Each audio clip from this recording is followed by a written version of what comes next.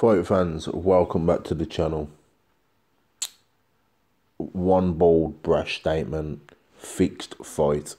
If I was to see a fixed fight, I think I'd know what it looks like.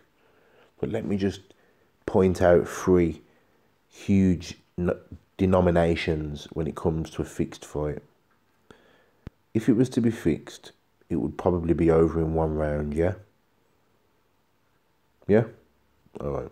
If you was to fix a fight, would you want your man to get it over and done with in one round or make it last, I don't know, a good couple rounds? Hmm? Okay? Then, to make things worse, a fixed fight, at least throw a punch, yeah? This dude didn't even throw one punch, okay? He didn't throw one punch. I don't know if it's Frank Warren's decision, Frank Warren's idea, BT Sport in general, that are putting on these stupid fixed fights. It's clearly fixed.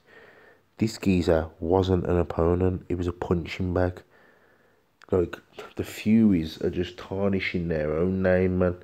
Because we all know that before Deontay Wilder, Fury was fighting bums.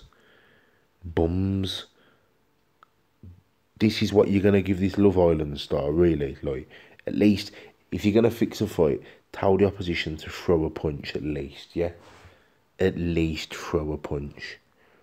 It's the most ridiculous thing I've ever seen. I can't believe this shit's actually going on in 2019, really. I know we're nearly at 2020, but come on, man.